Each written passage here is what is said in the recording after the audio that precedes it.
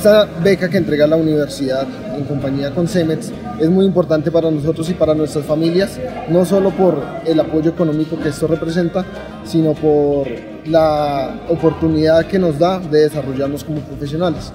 Y ahora me encuentro apoyando el país de Jamaica, estandarizando las plantas que adquirió la compañía para llevarlas a un nivel óptimo en cuanto a calidad y seguridad.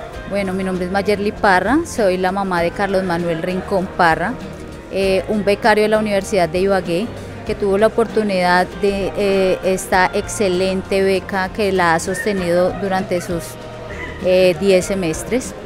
Mm, en este momento mi hijo está en el corporativo de CEMEX en la ciudad de Bogotá.